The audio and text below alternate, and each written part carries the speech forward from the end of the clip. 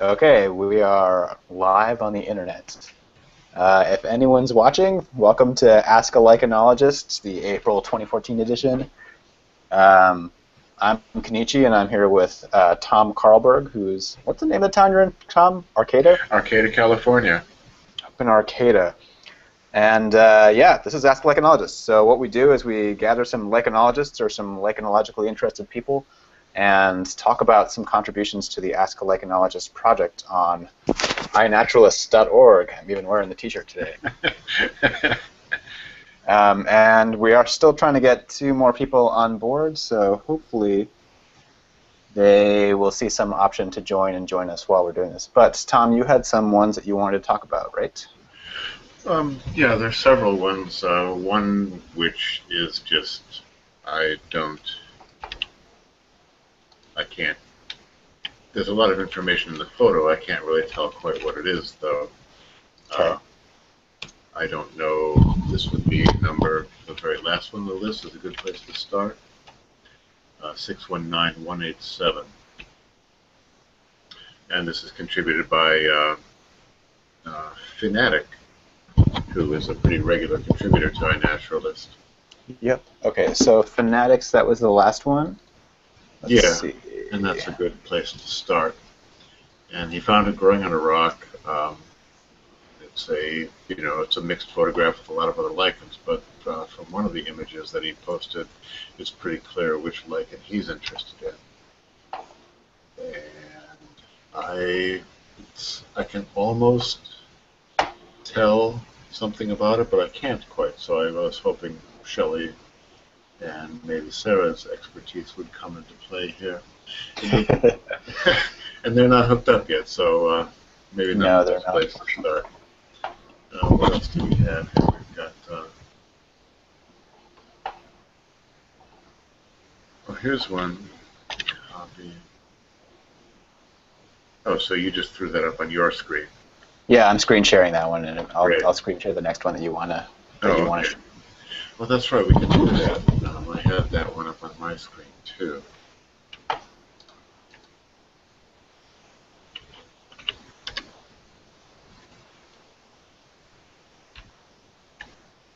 see.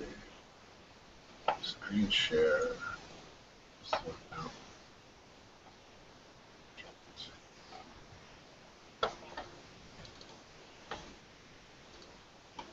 Am I screen sharing? Oh, you are. Let me. I'll switch to you. Oh, okay. This is also this is a very common lichen uh, in Oh. the Pacific Northwest. Uh, this Now I lost your. Now I lost your screen share. Oh, sorry. uh, let's see. Share. I've got your screen share. yeah, I put mine back up. Variable rag lichen. Well, here, let me give you the uh, observation number. It's the 560665. Okay. It's in that list. Uh, Probably, it's probably safer if you do the screen share. Sure. Uh, get back to my screen. This one? Yes, that's it. Okay. Let me download that.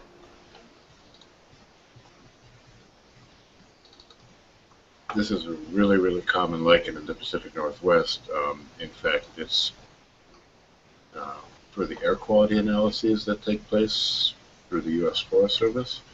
hmm Um, this is the one they use for collecting tissue samples of because it's almost always available in really large quantities wherever they're doing their air study plots. Uh, this fellow found it in Placerville, and I can't quite tell from the photo if it is Platismatia glauca or not. It looks like it. It could be.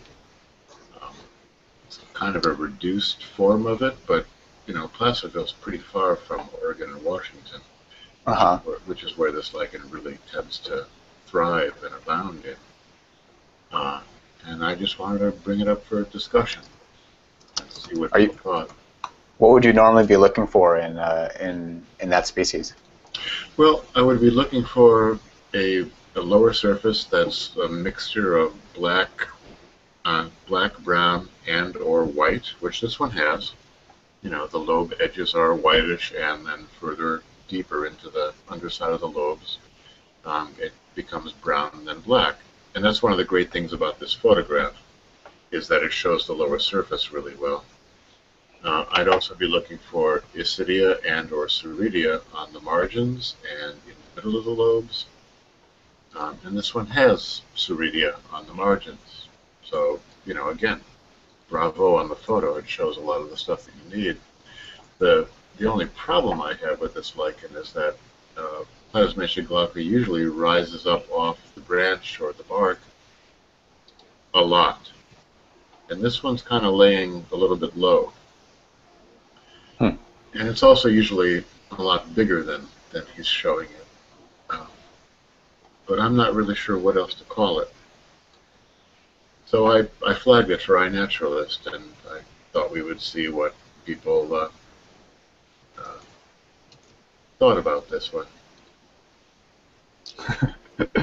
well, I'm hoping that we can get Sarah and Shelly on, but it doesn't seem to be working quite the way I wanted it to. That's okay. I remember the time it didn't work for me. It's pretty frustrating. Yeah, Google Hangouts sort of. Sometimes it seems to work, and sometimes it doesn't work so hot. Uh, and I can't seem to get Sarah on chat either. I'm just texting with her. She's apparently watching. Let's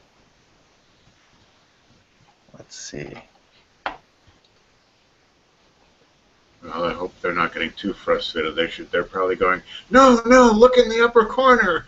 it's right there. It's so obvious. well, uh-huh. I shouldn't be so mean to them. They can't help it. uh, let's see. I can't invite them that way.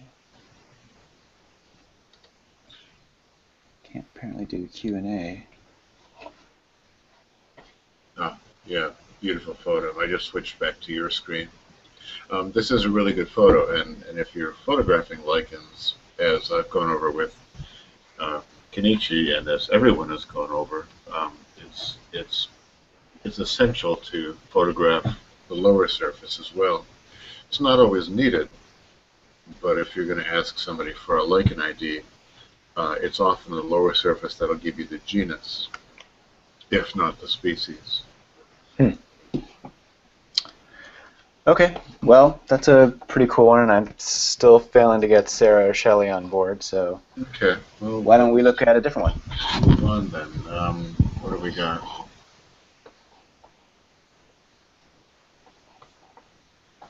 Something else from your list that you thought was interesting? Yeah, 271665.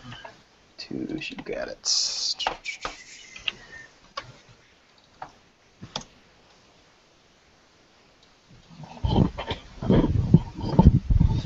Uh, Uh, it's, a whole, it's a whole lot of lichens. I know. um, I know. let's see if I can figure out one pick to pick out of there. looks How about really that first? Uh, he's got the primary photo, and then he's got two secondary ones. How about the first of the secondary ones? Yeah, sure. If that's not a contradiction. Just download that. And share. And even at that, he's got several species in there. Yeah, so what do you see going on here? Well, I was just, you know, the, I was going to comment on the, the yellowish stuff. Um, it's probably not a Xanthoria, which I think he. See, what does he say? I've at least learned so far that there's more than just shield lichen on the bridge and the rail. True. Mhm. There's quite a few. In fact, I don't think I saw any shield lichens, which is also the genus Parmelia. Um, some of the yellowish things are probably a Candelaria. And I, I know I steered you to the first of the secondary photos, but now I want to steer you to the second of those two. Uh, it kind of looks like a, a, uh, a So the second seems like a zoom in on uh, on one of those, so I can probably zoom this in over there. Yeah, and it's one of the it's one of the lichens in that photo that have apothecia, and it's kind of interesting because the apothecia have a, a white lower surface with an orange cup. Um, surrounding it is an orange lichen, which probably is a xanthoria. I wouldn't be able to tell much more on that one without either having the lichen or a better photo in place. Um, but, but the primary lichen in, in that second secondary photo uh, is really, it, it looks like a Teloschistes, uh, one of the Hmm. ones that don't have the cilia all over the place, but there's no there's no thallus that I can see. Do should should all two Teloschistes have a thallus? Yeah, they should have a fruticose thallus that stands up like a bushy, branchy bush uh, above the substrate, and this one's not doing that. Hmm. So, you know, I I brought it up because it looked interesting, and I was hoping for some discussion on this. Sure. Well, what, what about the Ramalinas, or the those gray fruticose ones that I think are Ramalina? Uh, in the main photo, Uh, yes. So there's some sort of at the bottom of the main photo and to the on the right side. to the right of center. Uh, yeah. Yeah, I think he's got that in his um, uh, his first secondary photo. Mhm. Um, I wish he had taken the photograph for that Ramalina. Uh, it looks like it looks like Canariensis though. If I had to go with like just a Gestalt, Mhm. but I would want to be able to see the the lobes actually splitting open with the soredia on the inside uh, to be really sure of that, because it could also be a sun distorted uh, something else. Wait, so growing in sun can distort some Ramalinas? Well, lichens often grow differently in the sun than they do in the shade. Usually it has more to do with color. Uh, sometimes it has to do with stunted growth. Uh, but I like Ramalina canariensis. I wish I could see this one a little bit closer. There are there are other photos on iNaturalist that have that one. Uh, And Ramalina canariensis is the one with the uh, the the split thallus margins. Is that correct? You can get that on both Canariensis and Subleptocarpa. Um, Okay. Canariensis is um, it's a it's Subleptocarpa has long strap-like branches, and Canariensis has a, a pul- it's called a palmate branching pattern. There's a Mhm. pretty broad lobe originating from a single base, and the lobe splits into finger-like projections uh, eventually. Uh, so they're they're different. Uh, let's see.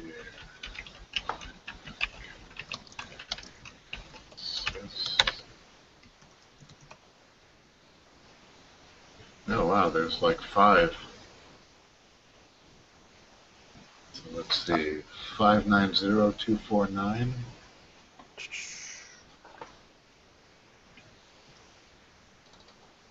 Five nine zero two four nine. Yeah, Ah, this is one of yours. yeah. There's two of mine and three of yours. Apparently, we're the only people who noticed this taxon. I only noticed it because you pointed it out to me. Oh, did I do the IDs on this? Yep. well, no, but you're Uh, noticing it, and and that's you know, if you hadn't taken the picture, I wouldn't have made the comment. Let's see, let's share your shot here. There we go. Yeah, nice. That's better. Yeah, there we go. So you can see it's a pretty broad lobe. The, the base of this lichen is to the the lower right, and the Mhm. lobe tips are the, the thinner branches to the upper left. And you can see how broad the lobe is at the lower right. It's um, well, you can gauge by my finger. And then right above my uh, fingertip is where the lobe is splitting apart, and all that granular stuff in the middle is uh, Soredia. Those are the uh, the reproductive propagules, uh, which combine both the algae and the fungus. You know, iNaturalist is pretty cool. Um, uh, it's really, really hard to go to species on lichens. Yeah, for sure. I'm, noticing, and, and I see a lot of my, well, it's not my job, but my interest in it is is in, I call it putting on the brakes, because uh, people get really excited about lichens and and they they don't have the background for it, mm-hmm. uh, and it's it's often very hard to tell from the photos uh, much of anything about about the, the observation that they've made, and I don't want to discourage them by any means. Um, but you know, the closer they get with their photos, the, the better their chances are going to be. Sure. I often sort of like just add more conservative IDs to things, and I'm just like, uh, you can't really tell it's going to be that unless you see these other things. So yeah, I'm, I'm sure it's in Ramalina, but I, I don't see enough to see, you know, how you get you know, to species. And, and the good news is that you often can get to the genus um, from a photograph, as, as long as it's not a crustose species. Right. Um, there were some that I wanted to look at. Well, there's one of mine that I want to look at, but I'll have to do that. okay. Um, as long as we've been talking about Ramalina, could we do one more from my list before that? Oh yeah, absolutely. Yeah, we're only 20 minutes in. Uh, that very first one, 517302. You got it. In the chat window. Yep. Let me just load that up. Yeah, let me get there too. So there go. Um. Two.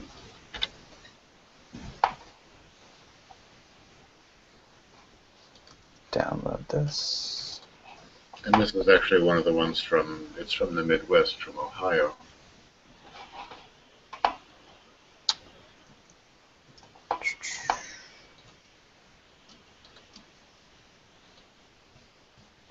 Oh, this was observed in Ohio? Yeah. Oh, cool. Yeah, it's nice. called Ramalina intermedia. It's a, uh, it looks a lot like, uh, I believe it's Ramalina roesleri which is a Pacific Northwest species that grows on bark. Um, this one is different, and it grows on primarily on rock. But this huh. guy found it on uh, on sandstone, and I think he has the right ID. Uh, I'm not familiar enough with this species to uh, to do the ID from. Yeah, there's the photo. I don't want to do an ID from a photo from Ohio, but I think he's right. Um, and since we were talking about Ramalina, I thought I would just throw this one in there and, and, see what what people had to say about it. What do you? So, what would you want to see to to try and get this to intermediate? Uh, well, I'd want to have the specimen in my hand. Uh, it's not a matter of the chemical test in this case. I just want to be able to look at it better. Mm -hmm. But his his photo shows a you know it's a fruticose lichen. The branches are not very wide um, they're covered with little, almost pustules of Soredia, uh, and, and that's what I that's what I think of when I think of Ramalina, uh, intermedia. Plus growing on rock, um, which in this case it's not. It's on uh, it's on a branch laying on the ground. So that, that's a pretty good uh, ID and observation. Um, yeah, it'd be kind of nice to get some more uh, lichens from other parts of the country rather than uh, just the West Coast. We have a couple. Yeah. Yeah, I do look at lichens from, from other areas, and I, I enjoy the diversity, the exciting stuff that people come up with.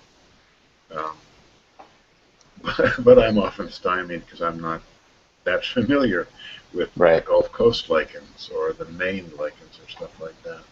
Are there any like lichen hotspots in the U.S in terms of diversity? Well, sure, absolutely. What would they be?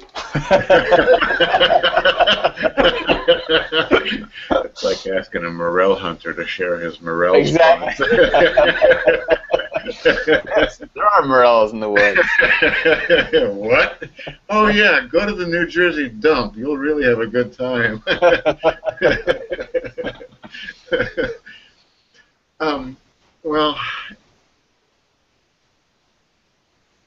it's. I'm trying to just. Generically, you should look for places with high substrate diversity and, you know, I'd like to say high moisture content, but then there's places that are quite dry that also have really good lichen flora. Um, I know that in the Northwest there's been a study done that analyzed um, lichen diversity uh, what was it? They start. They took a major watershed and they divided it into sub watersheds. Um, what are they called? Their class or level one, two, three, four, five. And they investigated lichen diversity at each of the different levels of this watershed. And basically, under those conditions, the the lowest elevation combined with the highest substrate diversity, especially hardwood and conifers being present, provided the greatest lichen diversity. Hmm.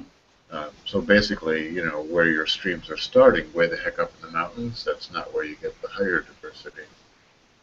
It's where the stream broadens out and before it um, before it enters whatever valley it runs through is a better place to look for lichens. Are there any sort of like regions of at least North America where diversity is higher. You know, like the California Floristic province is ridiculously diverse for flowering plants, but are there like analogous regions for lichens? Well, if if there were as many lichenologists as there were flowering plant botanists, I'd be able to answer that question. Um, so I don't know. Huh. Uh, you know, the, the deserts have not been explored. The, a lot of, even where I live, a lot of stuff has not been explored. There's it's the ratio is probably a thousand to one. And it's because plants are, are pretty and they're edible and they're medicinally useful. So people have studied them, um, you know, not for the sake of studying them, but because they've used them. And people haven't done that for like they're not as useful to people, so they have not gotten nearly the attention. So you wanted to look at one of yours. Uh, yeah, let me load that up.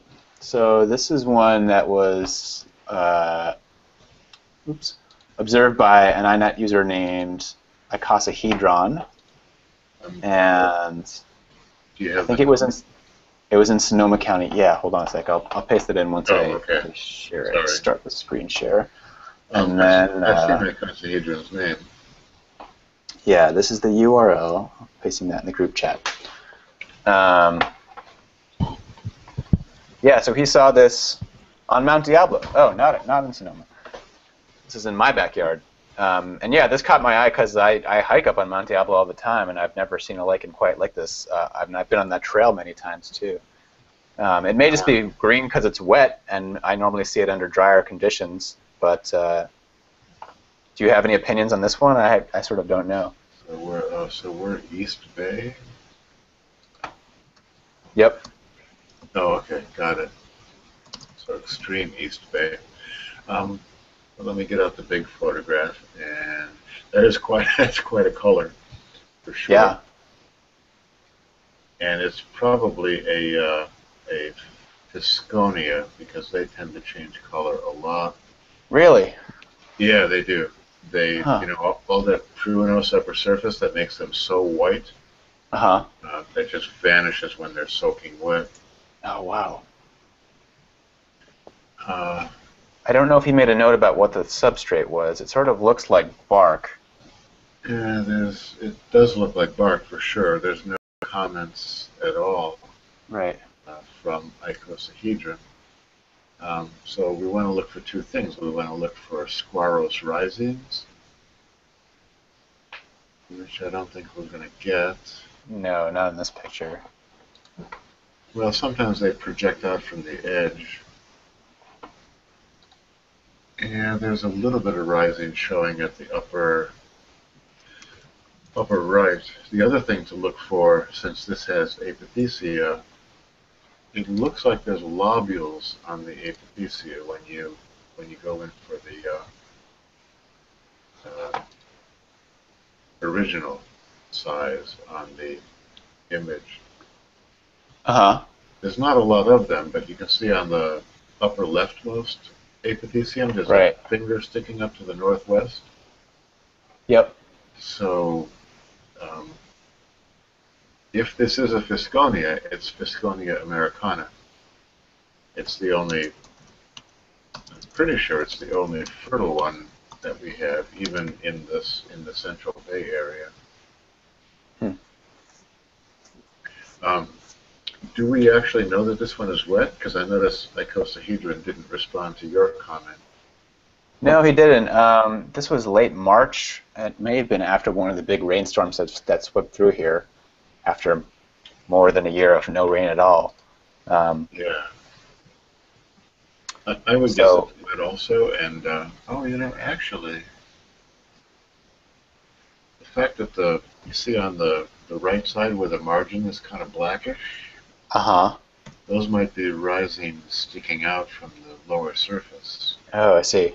and and you know the rhizines in this lichen, they tend not to be very individual. They kind of form a mat, Right. so that could be what's going on there. So again, as you were talking about before, it's really good to get a shot of the lower surface of the lichen. In this case, if you can get a shot with a macro lens or even like holding your phone up to a, a hand lens, um, you can actually get a whole lot of detail. But to see those squarrose ri- rhizines, I remember you showed me that one time, Tom, and you really have to look very, very close. It's pretty fine detail, yeah. Um, yeah. you know, anybody who's looking at lichens in addition to a, a phone or a camera with a really good uh, macro system, it helps to have like a 14 power hand lens or something like that. Right. Um, let's see if I can find the one that, that of mine that I want to look at. I saw this. It was a. I mean, it's I'm pretty sure it's Usnea, and it was down in Big Basin. But it had apothecia, which was a bit weird. Um, and it wasn't like the Arizonica slash whatever the other one with the really big apothecia is. Oh, huh. Yeah. See if I can find it. Yeah. Arizonica, I think, in the older keys is the name. Um, I think it's intermediate now. Although I keep looking for Quasi rigida, which is supposed to be in California, but I haven't seen it yet.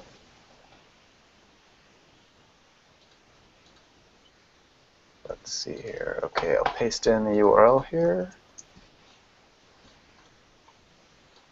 And download this image.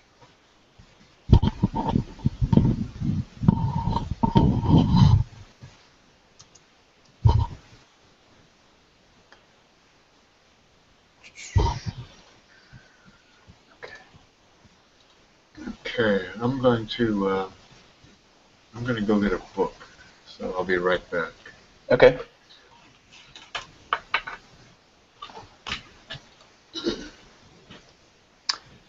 So for anyone who may or may not be watching, this was in uh, in Big Basin. Um, and yeah, I was intrigued by the fact that it had these little apothecia. These were only like a few millimeters wide.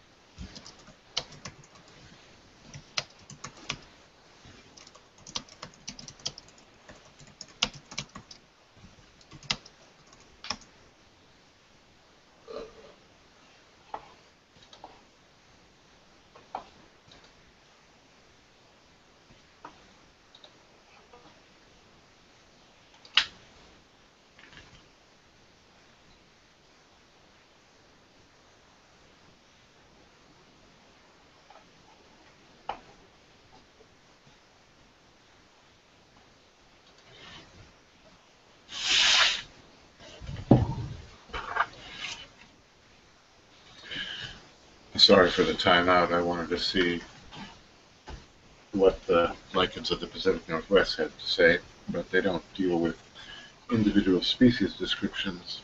I was noticing in your primary photo Whoa, I think we got Sarah. Yay! Oh, Oh, my hey, god, wow. it. Gosh, it's eight o'clock. no, just kidding. It's only seven thirty. Hi, guys. Hi. Hey, Tom. Hey, Kenichi.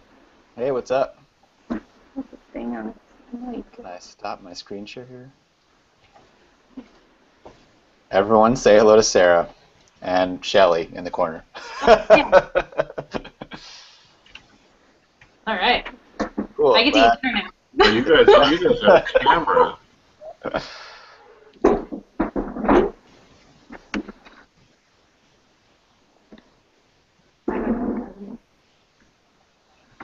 Okay, you have to move really, really slowly, you guys. oh no, do you have like more jealousy inducing food? yeah, it's getting warmed up. Hopefully, it doesn't take off the internet.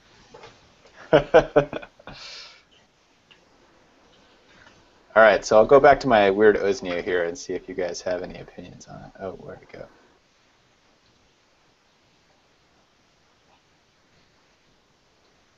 Back to my screen. So yeah, this was in, in Big Basin, and it was sort of like hanging from from trees, sort of a lot like uh, uh, Longissima, as far as I know. But Uh-oh. it had these weird little apothecia. I don't know if that sort of looks familiar to any of you guys. Well, you know, the thing, theoretically, if it's in California and it's fertile, it's Usnea intermedia, which is probably an old name for uh, Arizonica. Does it ever have tiny little apothecia like this? Like I've seen that that Usnea with with apothecia before, but they're you know they're, they're like dime sized or, or only a little smaller than that. They're quite large. It says 3 to 10 millimeters, so 10 millimeters is pretty good for a dime, Yeah, um, and 3 millimeters is like maybe a BB.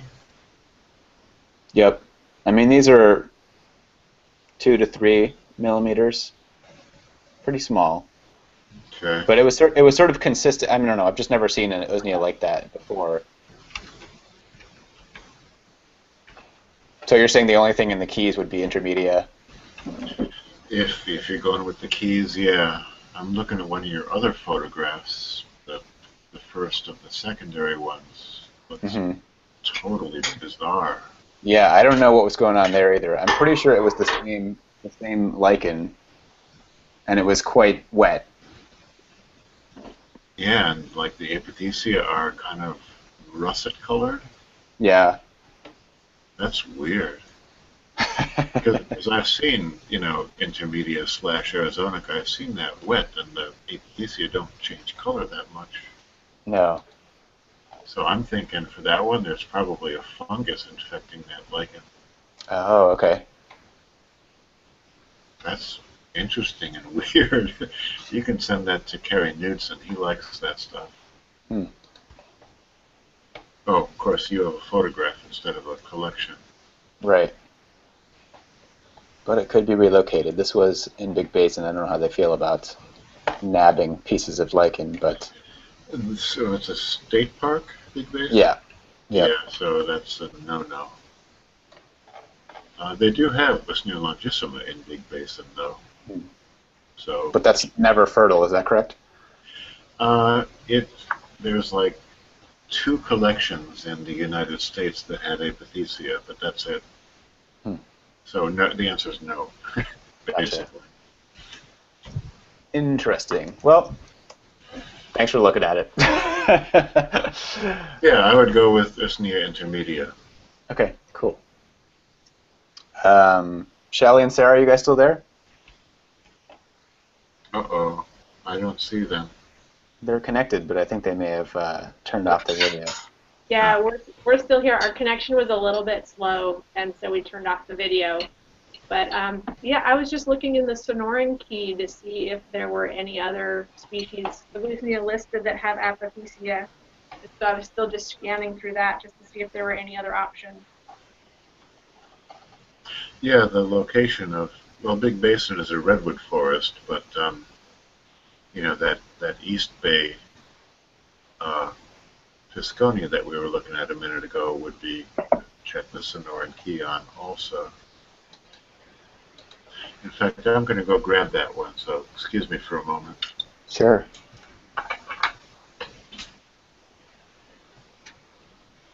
Sarah and Shelley, do you guys find that that Sonoran key is, is, is still useful for this area?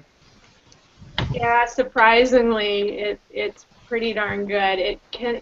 It, there's so many things that are in it, um, and if I'm going to key out a crust species, that's pretty Mhm. much what I use. And um, yeah, it's a really great reference for most of the macrolichens that I find in the Bay Area too. Interesting. And th- that we just share the same lichen flora with the Southwest and the Sonoran Desert? Yeah, it's amazing. Huh. I mean, there's a lot. I think there's a lot in the Keys that you won't find in the Bay Area, but yet, you know, oh, so many of the collections that I make in the Bay Area um, key out in these keys. And this key is, um, it's, I think it's one of the newer ones that's out there, and so it seems to be more up to date, and it's really, it's really um, got a lot of detail. You kind of have to be like a a big tech type person to get through some of the descriptions, but um, but yeah, it's really useful. You, do you know whether it's that um, if species are present in the Sonoran Desert region, but they're present in much lower abundances than we might have them here? So they still show up in their keys a lot of the time, but they obviously don't have the same like in Florida. That would be my guess. Is that the species may there may be a lot of overlap in the species, but the abundances are quite different between the two Does, does the Sonoran Key cover sort of like all the montane regions of Arizona and New Mexico as well? I think so. Yeah, the, I know that it says um, uh, it says if things are at higher elevations. So yeah, I kind of think so. Maybe that also goes a ways towards explaining it, just because like there's such of you know variation in habitat between high elevation Arizona, say, and sort of like the the playas. There is a lot of variation in Arizona. Um, probably the the best, and this is a testimonial rather than a scientific thing, but uh, Judy Robertson used the Sonoran Keys extensively, and she said that it works really well for uh, Central California. She did not spend much time over in the Central Valley and the Sierra foothills, but she did some of that. Huh, Interesting. Well, did you guys have another one that you wanted to talk about, or did you want to keep talking about one of these? Sorry, clicking. Oh, I was I was going back to that Physconia that we were looking at from Oh, sure. Yeah. the Concord area. Apparently, there are three possible fertile uh, Physconias in California.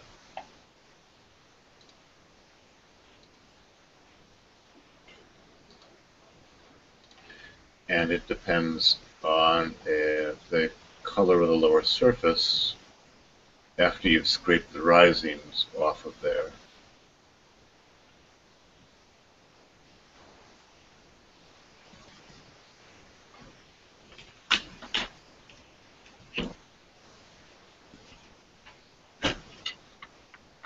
So the color after you script the rhizines off, what would you be looking for exactly?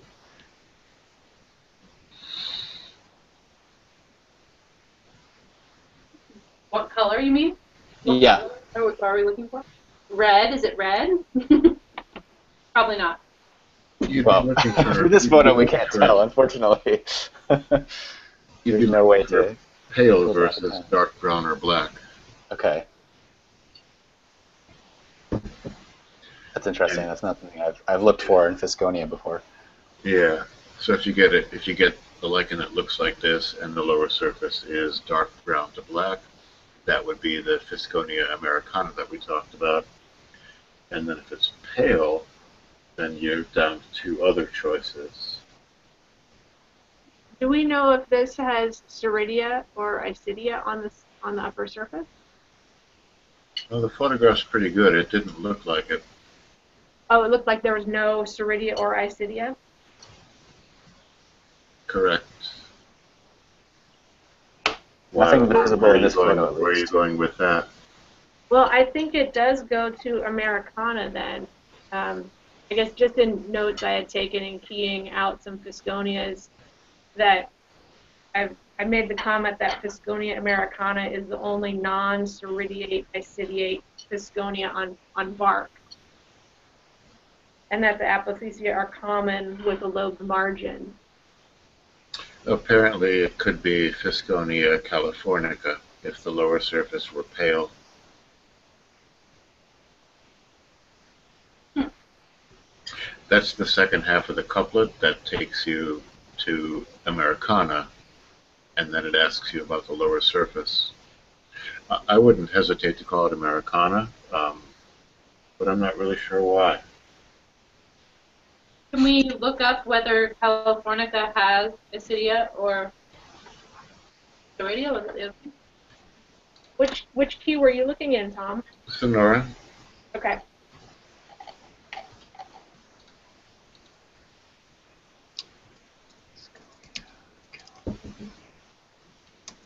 certainly Americana is a lot more common than Californica.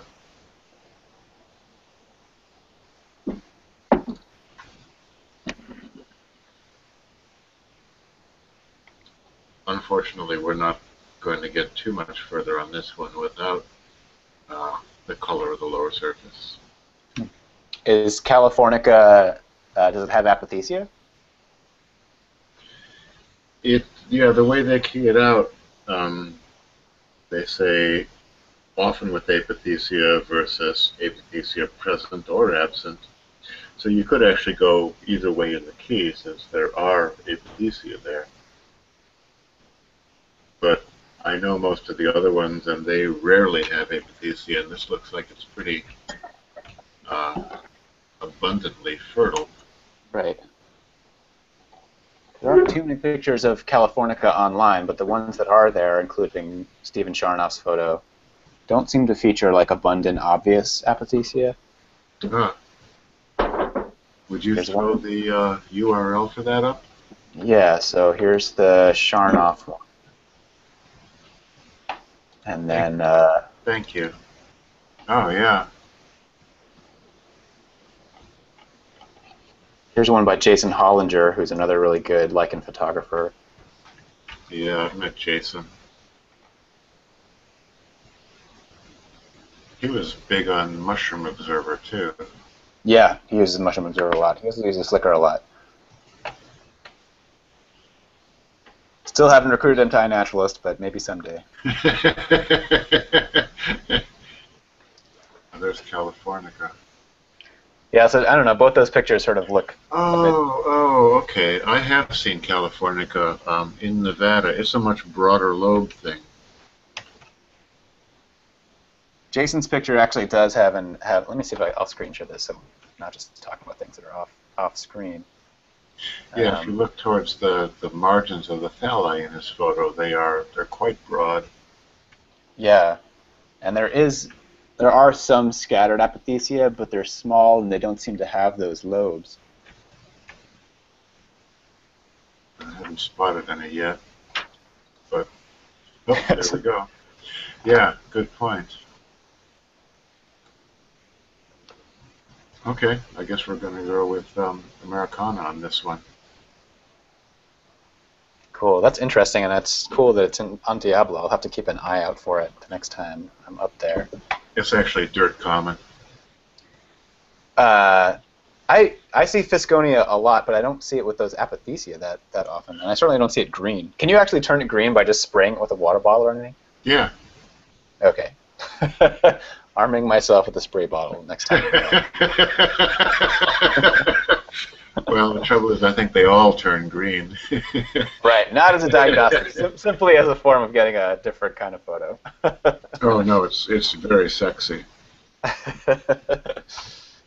cool. So, do you guys have any others that you wanted to look at in particular? Um, I would like to go back to that first one that I posted on the chat window.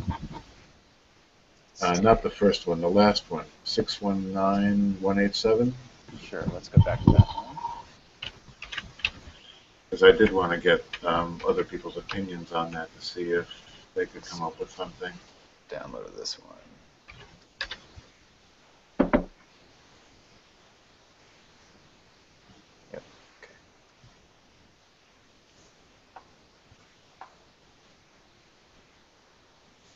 So Shelly, I'm going to paste in the URL for that.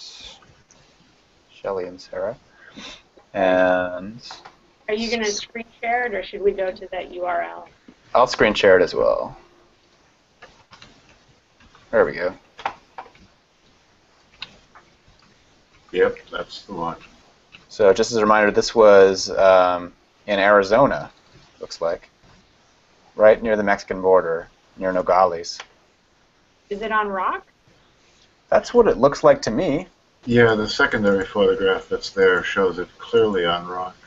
Right. I guess first first look, it kind of looks like a Xanthoparmelia. That's my thought. We should look at the other photo. Oh, we we have to check out the other photo now. Hang on. The other photo is actually less instructive, but it does show the substrate.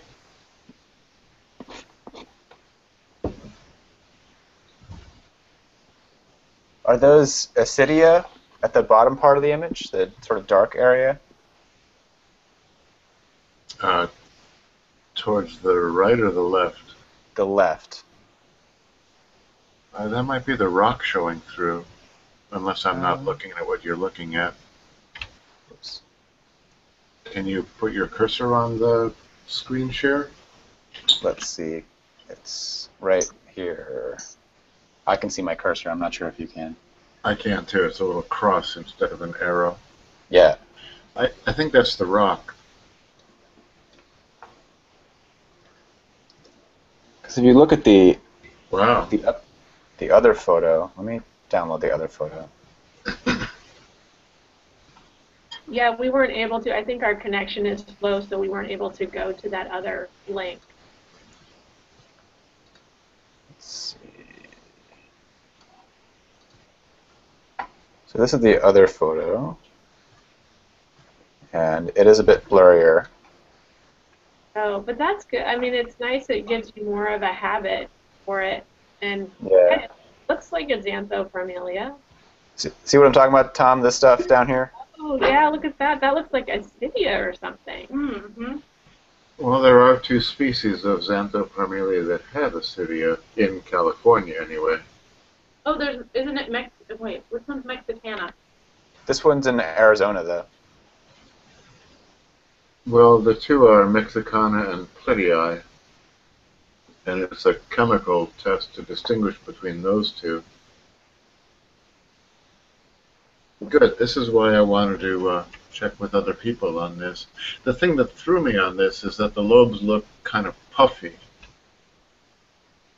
Yeah, I think they're just kind of, you know, kind of growing up a little bit off the rock and looking more kind of convex. But, but yeah, I think it, I think it looks like a Xanthoparmelia, and that part that Kenichi saw, it, they do kind of look. I can imagine them being Isidia, um, more so than Soredia because of just that darker color. Um, it seems like the Isidia have a darker color because they have more cortex on them than Soredia.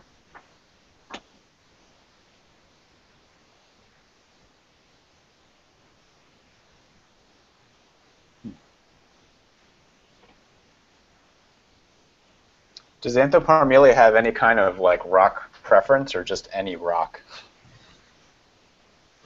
Substrate and ecology on on acidic rocks, often on soil near the coast. I'm reading for Xanthoparmelia mexicana. Uh huh. Um, in open arid habitat.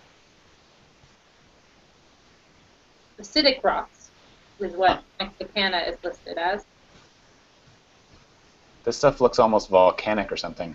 But maybe I'm just thinking that because it's red. that's, what, that's what kind of geologist I am. If it's red, it clearly came from a volcano. No, it kind of looks like it was it was also spewed forth and is not very organized or something. Uh huh. Thanks. That sounds way more scientific. yeah. no, I, I definitely thought volcanic too when I saw it, but again, not not a scientific, uh, not not a geologist speaking. Right. well, that's cool. So we think this is Xanthoparmelia and possibly Xanthoparmelia mexicana. Is that right? Or or Plittii. There's there's two that that have isidia, and like Tom said, you really can't tell them apart unless you do a chem test. Gotcha. Which chem test, out of, out of curiosity? Uh, I think it's the K test that distinguishes, but I would have to check. Mm-hmm. Alrighty. Were there others on your list, Tom, that we didn't that we didn't get to, or that we skipped over because it was just? Oh, you and me? let's see. I'm not sure why I put that second one on the list. We could go back to Platismatia glauca, but let me check this thing first.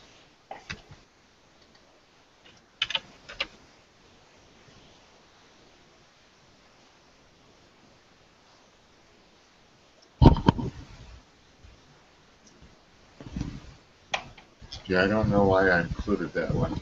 Oh, well, okay, sure. Let's take a look at this one. It's um, it's the second one on the chat window, four seven six nine six nine purchase area postulata. Sure. I mean, we're never going to get the species on this one, but I was curious to see what other people thought about the genus. Weird photo. Sorry, The photo is I don't know. It's just a weird looking, well, weird looking lichen to me. it's a weird looking lichen to me too. Um, it it could be a Pertusaria, uh, or it could be, God only knows. Loading. We'll do this screen share here. But it was, you know, the photo's good enough, and the uh, the ID is interesting enough that I thought I would throw it into Ask a Lichenologist and see what the discussion shaped up as. So this one was observed by Thoth uh, in Sonoma County. Um, he says it's growing on an oak branch, and he's even got a spore shot. Yeah, two per ascus. And the spores looked good for Pertusaria. They're not blue like that one that Shelley found up in uh, uh, the Siskiyou Field Institute, but they've got that double wall that Pertusaria has. So double wall this this area over here. Uh, let me get back to where you are. So what we're looking at in the in the um, the spore shot is is what a single spore or what's the structure we're looking at here? I'm pretty sure what we're looking at is um, there's a long ellipsoid filled with just granular stuff. And then surrounding it is another very thick walled. Oh, that might be the ascus. Yeah, that's what I was thinking, Tom. Okay. Yeah. So, okay, so we've got, because sometimes these Pertusarias have really interesting spore structures and ornamentations. Okay, so what we're looking at is uh, an inner ellipsoid that's slightly bulgier on the bottom, and it's filled with what looks like granular stuff, and it has a really thick wall that's darker. Can I share my screen and use my pointer on this? Yeah, go for it. Uh, I don't want to share my screen while I'm sharing your screen. Uh, if you just share screen and choose the, the window that you want to share, I think that'll work. Yeah, let me figure out which photo I want to use first, not the biggest magnitude. Okay, so there we go.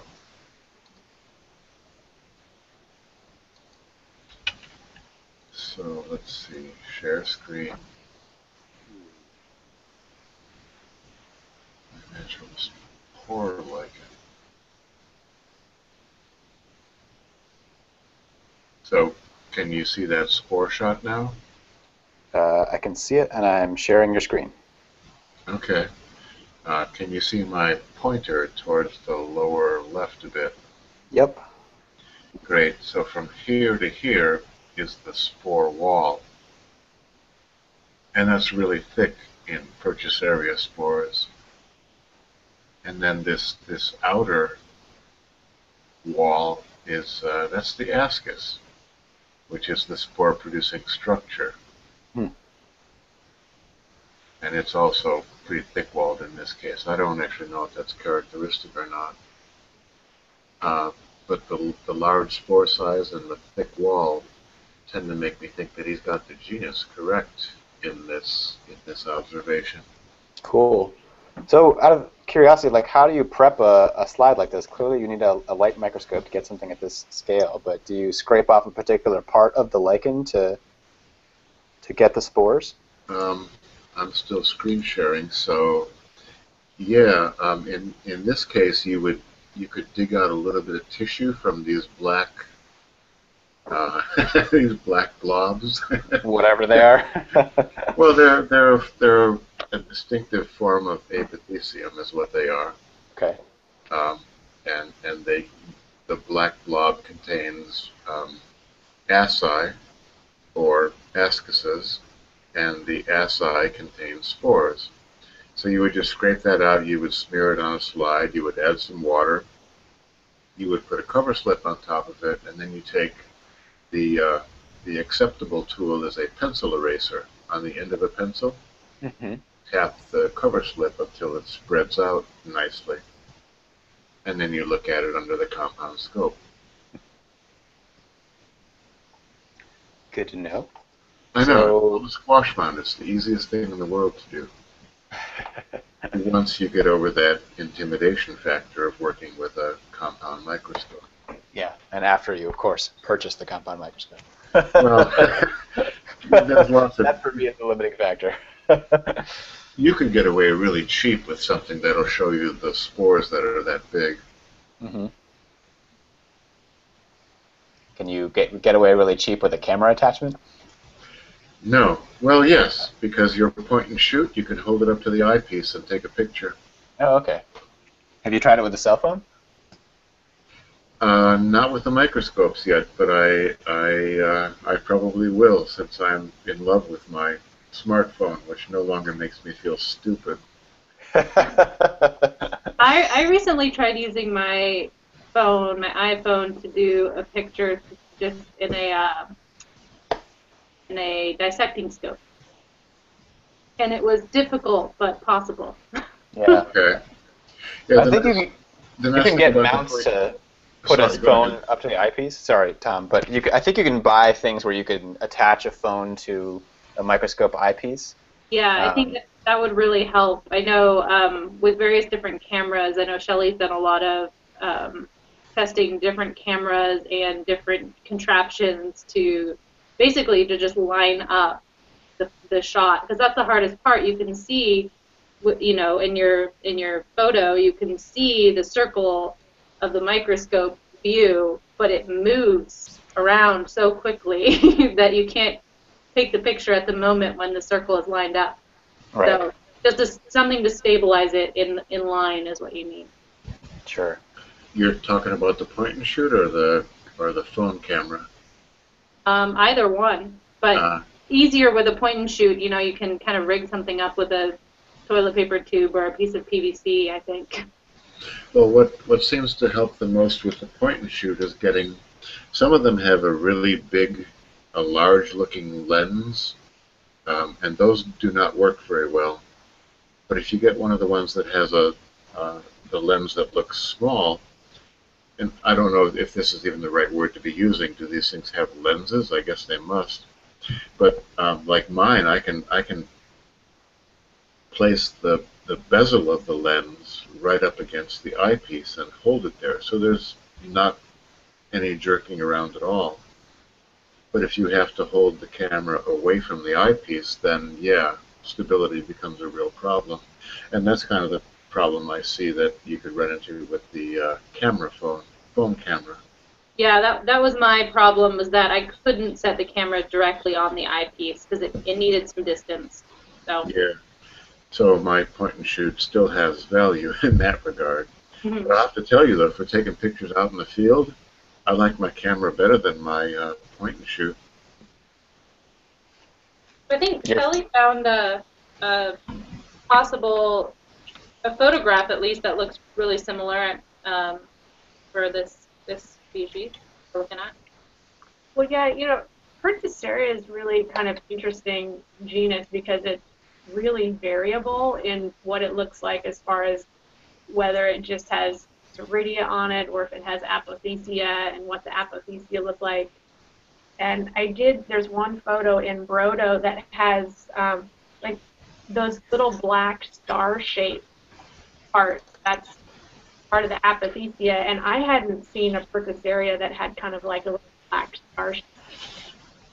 There is a picture of a Pertusaria in in Brodo's book um, from the East Coast, but but it does show that funky shape.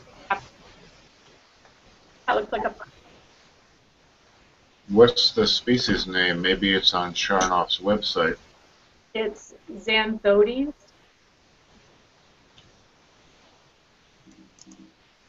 At the very least, it helps confirm that potentially the, the Pertusaria genus ID. Just being able to see something that looks quite similar.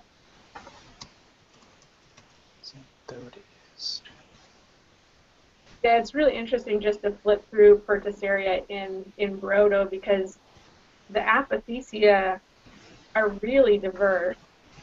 And you know, some don't have apothecia, like we're really familiar with. And there's some that are like microfruticose.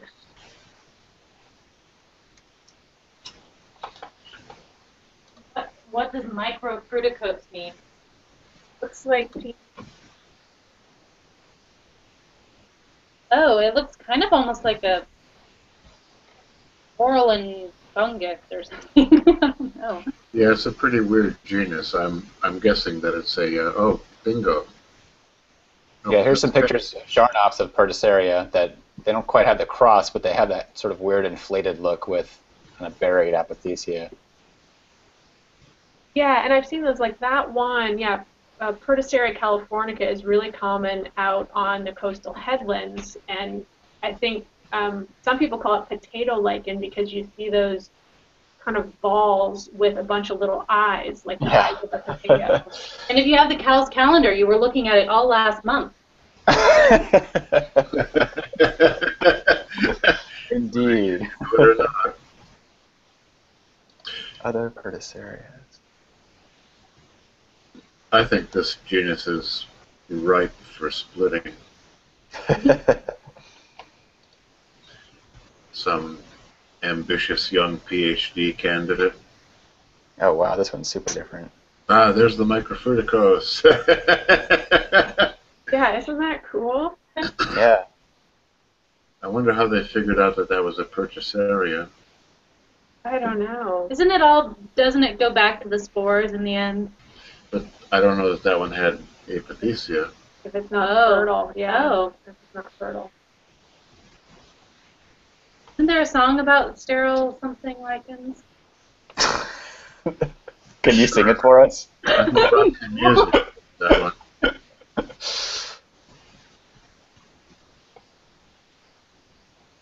Wow, what a weird genus. It's so diverse. Wow, look at that. Oh, that's funky. Yeah. Yeah, that one looks messy. It's very globular. Ha ha ha. So, so there's no Xanthodes in there, huh? I don't. I'm not seeing it in his his list here. I haven't gotten through all of them. Yeah, this is alphabetical though, so you've got a ways to go. There's it's a very large genus. But those look Xanth- almost star shaped. Here's there we go, Xanthodes. Xanthodes. Oh. Yeah, well, not star shaped, but um, so certainly the genus encompasses a lot. Yeah, even the species seems pretty diverse. That's Xanthodes too. Wow. Oh, oh yeah, that is quite diverse, isn't it? Yeah. Hmm. Yeah, those first pictures looked a lot more similar to what we have. Right. This stuff. Hmm. No, but that's cool. Whoever sent this one Oh. in, that they're doing microscope work, that's really awesome.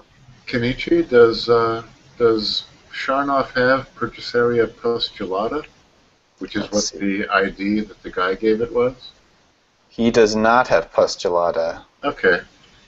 Let's try Yeah. Brodo, but I think if it's in Brodo, it's probably on Steve's website. Yeah. Yeah, I was just looking through. It's not in Brodo. Okay. Pascalata? Oh yeah, it's in the Sonoran key. Yeah, but that's not Sharnoff.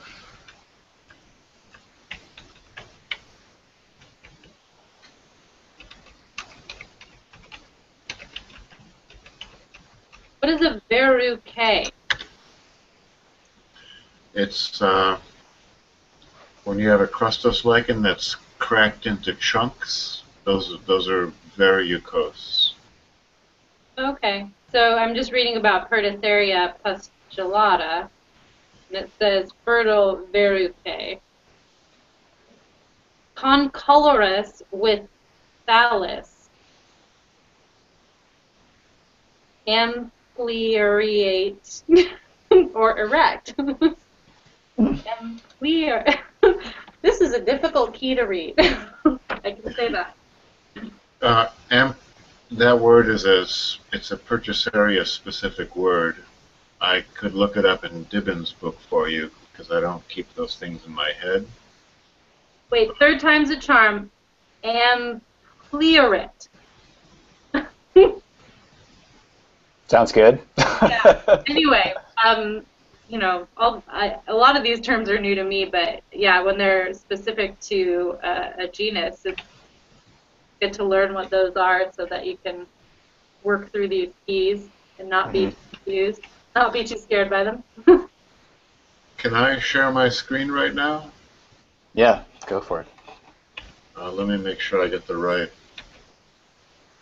This is from the Tropical Webs Tropical Lichens website. Um,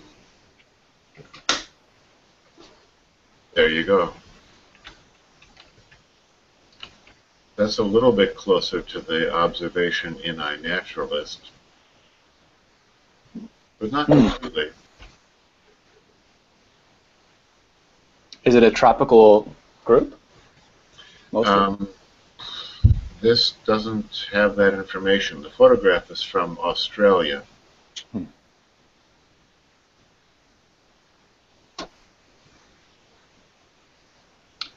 yeah, that's a weird one. Okay, I'm gonna I'm gonna check the Dibben book for pustulata.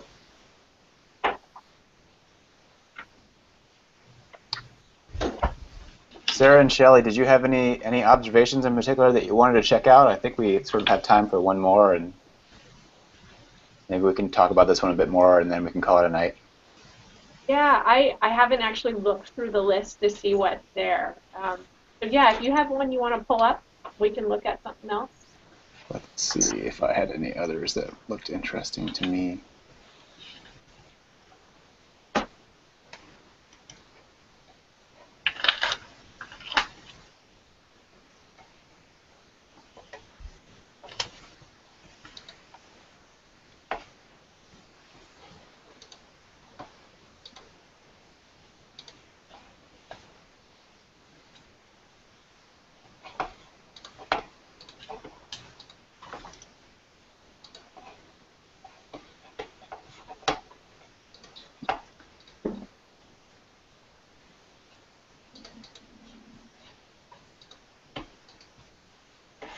Here's one that I'm not sure can actually be identified.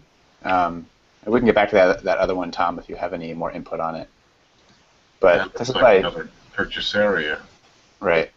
Yeah, Oh, you think this is another Pertusaria? yeah. Looks like it. Does it kind of the ringed appearance? Irony. It definitely looks ringed. Yeah. Can, can you taste it? Can you tell me if the radia are bitter? I'm licking my screen now. Okay. You know, Tom really got me the first time. I did not know this species, and I did not. he did. He, he got me hook, line, and sinker. He said, "This is sugar lichen. You have to taste it," and I did, and and I still didn't get it. I didn't get the joke. I was going, "This is horribly bitter. It doesn't taste like sugar at all." And he's laughing. I always tell people that it's a gag when I do that. After Always. they Always. taste it. Um, yes, lichenological humor. That green Anyway. color and the alternating white and green zonation bands on that, um, Uh-huh. I'm pretty sure that's Pertusaria amara. Amara, okay. But where is this guy? He's in Sonoma County again. and if we could lick it, then it would be bitter. Yep. Okay. How did its screen taste, by the way, Kenichi? Not that bitter, actually. no. Okay. Neither was it sweet. Any dioxins in there? If I knew what those tasted like, maybe. On my, my my screen, basically just tastes like dust. Yeah. I get that. So Tom, you said the the concentric rings of the two different like contrasting colors, the green and the white. Well, I've seen Pertusaria amara that does not look like this also. Right. But but I've also seen Pertusaria amara that has this. I, I wouldn't take it as being diagnostic by any means. Um, but you know, it, it looks like a really thin thallus, uh, and and it has those zone lines. And is there was there something else that you mentioned that was any it was a diagnostic feature or no? That was it. No, that was it. Okay. But but that's not a diagnostic feature. Okay. How about the bitter taste? Well, that's diagnostic. If we could lick it, we could definitely say what it was. If you could lick it, you would know whether it is or is not. Okay. now we're just all going to be licking lichens every, every Is there- ringed lichen. Do we know what it is that's bitter? What what's in it? That's not in another lichen. Um, yeah, I'm sure that it tells you in every lichen ID book. Maybe it's picrolichenic acid. I, I don't know. Then I don't know.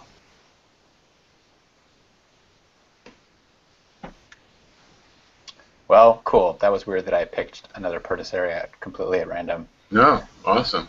Did you have any more you wanted to say about that other Pertusaria, Tom? Um,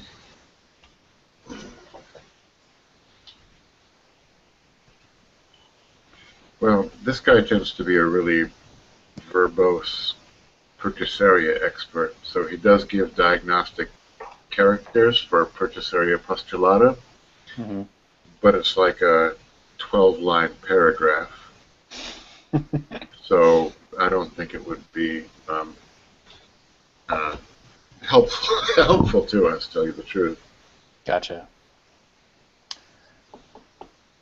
Alrighty. Um, did anyone have any any other observations they wanted to talk about, or any other announcements related to CALS that you wanted to make?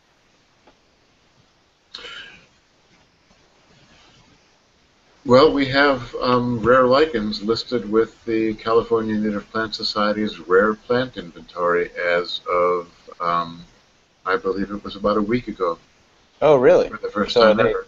Did they release a new? Did CNPS release a, a new list of, of rare plants?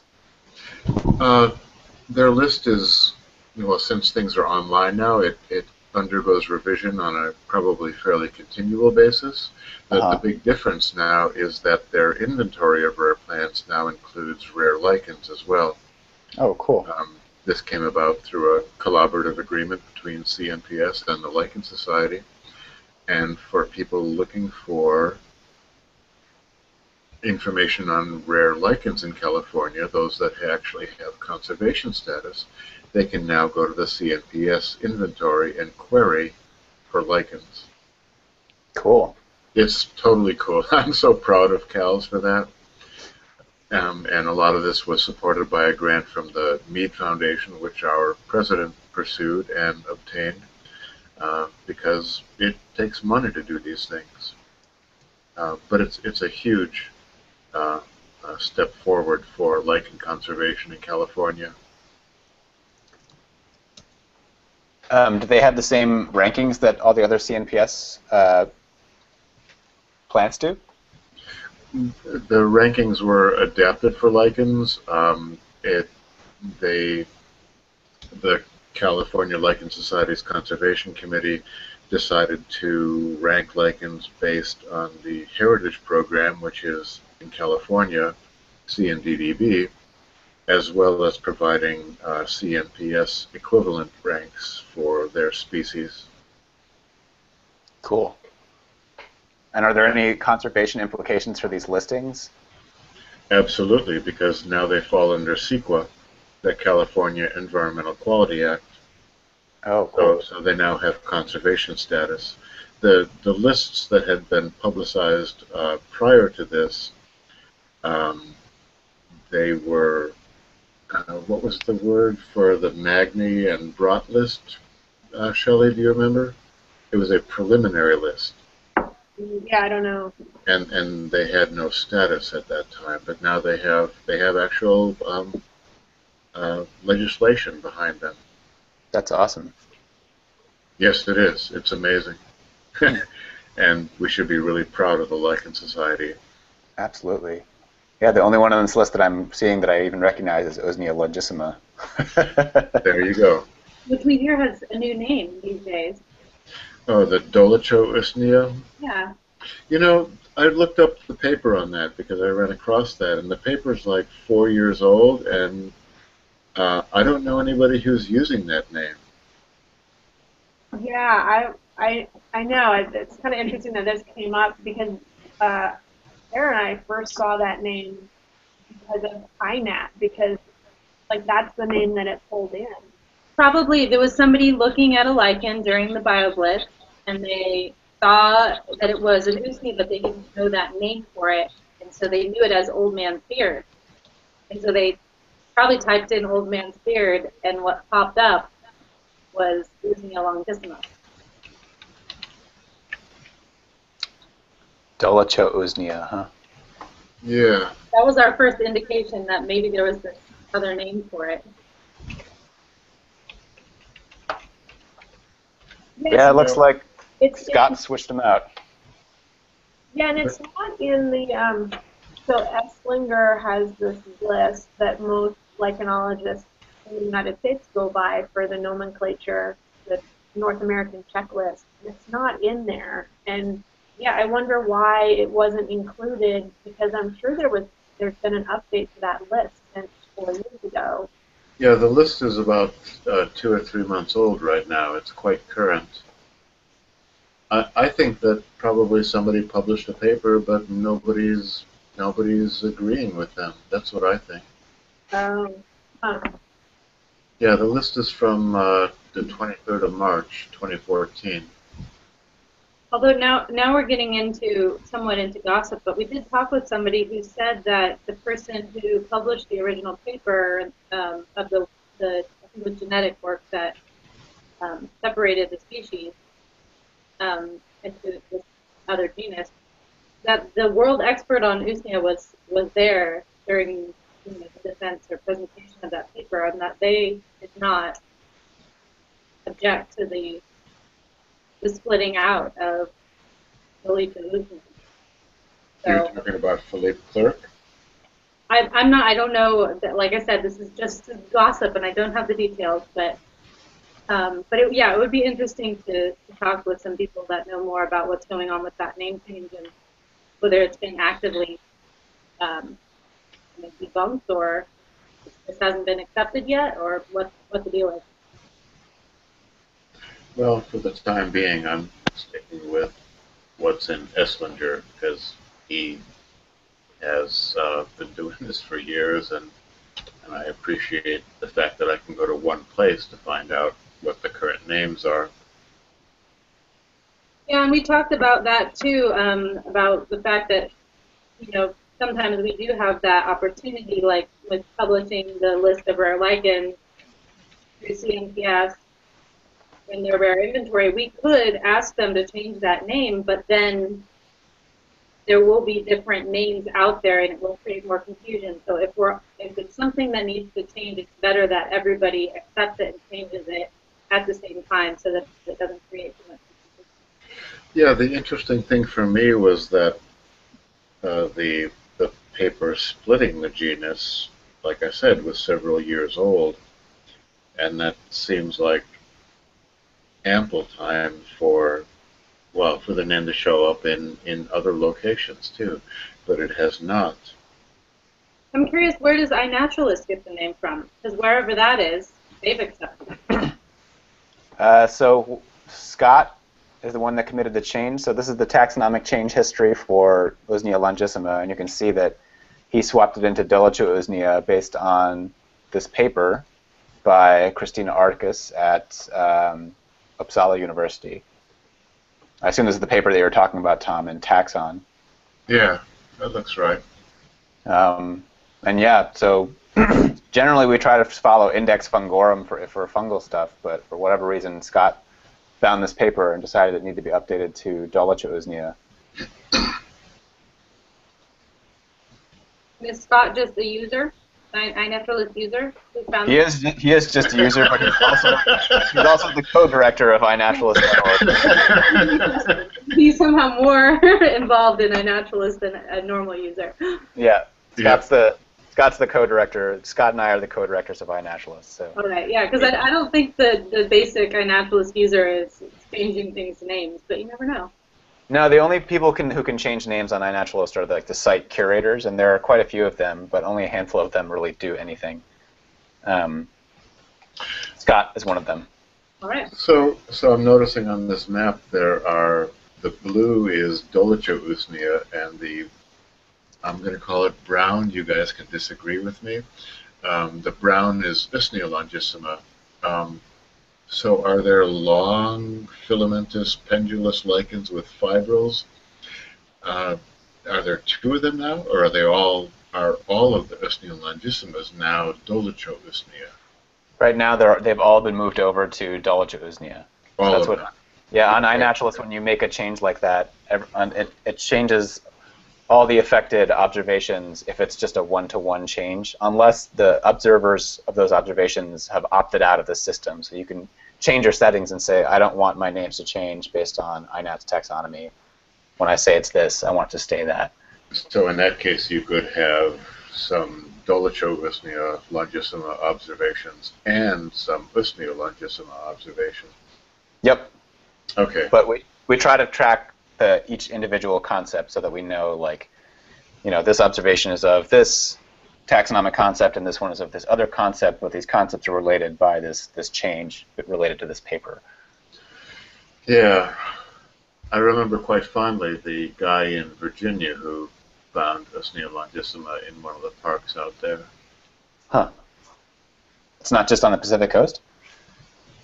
Um, true, it's not, but it's it's also not in Virginia. Oh, interesting. He just thought he found it. Yeah. Hmm. Yeah, like I was saying earlier, I think one of my interests in iNaturalist is putting on the brakes. Well, it was interesting with the um, with the BioBlitz how somebody did end up selecting uh, Dolichousnea longissima as a species identification, and I think that was maybe just a mistake based on the common name of old man's beard. But um, from the photograph, it was a little too blurry to even tell whether it was an Usnea or possibly a Ramalina. And so it, it ended up that we, you know, moved that out of that uh, identification, but then lo and behold, not too long afterward, Usnea longissima was actually found during the BioBlitz in one of the trees that was There it is. So Yeah, I think that's this top observation, although it has no photograph, was the one from the canopy. The Yeah. page, the page you had right before that, though, was the Marin was the uh, Marin Watershed District observation. There you go. Uh, yes, and it looks like you confirmed this one. Um, I did because of the stuff that's in the shadows. It's quite long and. Uh, what did I write? Niggling detail. Yeah. yep, about Dolichousnea. Oh, okay. There we go. Anyway, interesting. So eyes out for, for Usnea longissima or Dolichousnea longissima, depending on which name you'd like. yeah, and We'll if, see how it all shakes out. if anybody's interested in kind of doing more more looking for it, you could do that from the forest floor. You could be looking up into the canopy of some of the the bigger older trees out there to see if you see any of this long pendulous loosening up and in the trees. Like in photography with the telephoto lens, huh? You can look for Well- birds and lichens. right, exactly. You can multitask. Well, okay, I think that's that's it for this evening. Um, I'm, I'm definitely done. yeah. cool. I, I've enjoyed this. Thank you again, Kenny, Yeah. for putting this together. No problem, and thanks for participating, you guys. It's always great to talk to you, and uh, hopefully we can do it again sometime this year. Let's not make this a yearly thing. At least you know twice a year. Yeah, or even better, let's um, let's plan a field trip in May. oh, that'd be super exciting. Yeah. Alrighty, guys. Thanks. Thank you, Greg. Good night. Good night. Good night, everybody.